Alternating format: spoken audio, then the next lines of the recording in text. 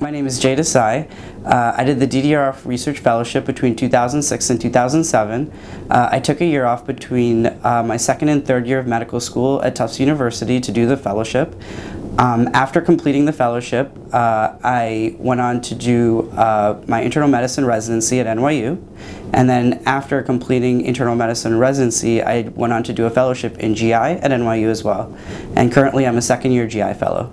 After spending a year with them, I really solidified my desire to pursue this as a career. And that really helped me get a leg up on, on my peers in, in, in pursuing this, this goal and led me to get into uh, to get into GI as a fellowship and to pursue it as an academic career.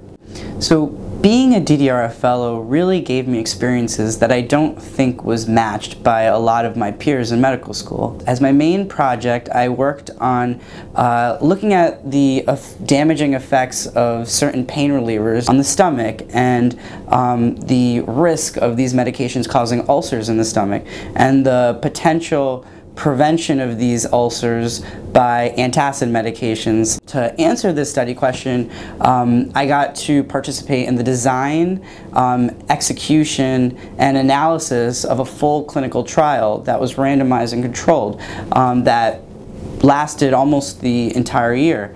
And um, I can say that none of my peers in medical school really had the opportunity to do this type of work, which is usually reserved for uh, people who are more in postgraduate years um, or PhDs. Um, and so this was really a great advantage to me uh, in the sense that I got to learn um, certain research methods, um, learn how to analyze data, uh, make great connections with different physicians in the area and in different fields.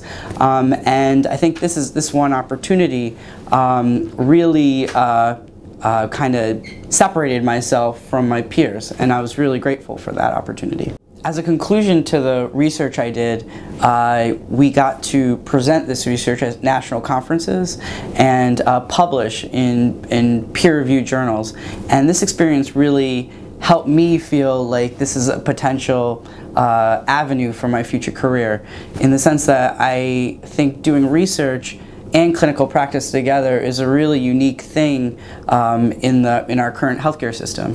And um, I think the DDRF Research Fellowship is a fantastic opportunity for uh, students at a very young age when um, we don't have these sort of um, you know, avenues for funding and, and, and commitment from excellent mentorship to see if this is something that um, we could be interested in. I would highly recommend doing this. I think taking a year off during medical school is a great way to find um, your passion. The mentors here are fantastic and I think uh, anyone who has the opportunity to do this uh, should really think think about it because I think it, it has only positives for your future career um, and uh, so I, I would highly recommend it.